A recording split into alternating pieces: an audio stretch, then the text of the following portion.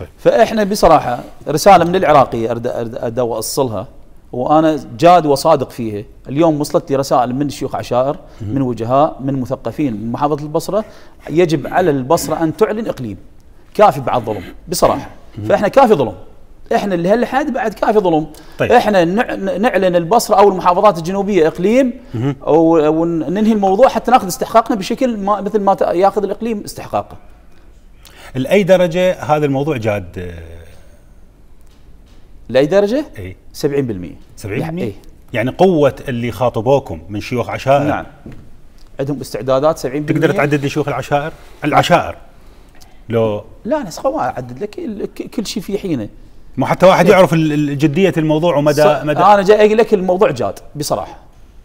الموضوع جاد بالبصرة يعني هسه اتكلمك و- عن البصرة ما راح أشمل المحافظات الجنوبية حتى لا أتكلم عن غيري. ويمثل حل؟ أنا جاي أقول لك البصرة ووجهاء البصرة وشيوخ البصرة وممثلي البصرة المثقفين والسياسيين في البصرة عندهم جدية بإعلان البصرة اقليم لأنه بصراحة كافي ظلم.